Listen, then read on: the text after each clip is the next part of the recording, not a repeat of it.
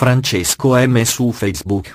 22 gennaio 2017 alle ore 10.44, si accorgeva che in molti da un anno all'altro gli ripetevano le parole della sua ex moglie, cioè che il mondo era cambiato e bisognava adattarsi.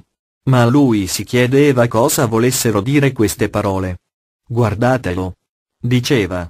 Guardatelo, il nostro povero boia mondo. Adattarsi a chi? A cosa?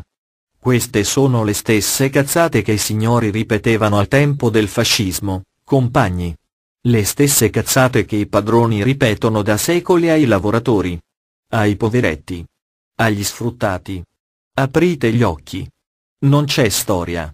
Nessuna evoluzione. L'uomo è la bestia malvagia e assassina di sempre. E se qualcosa è cambiato è solo in peggio. Diceva Libero.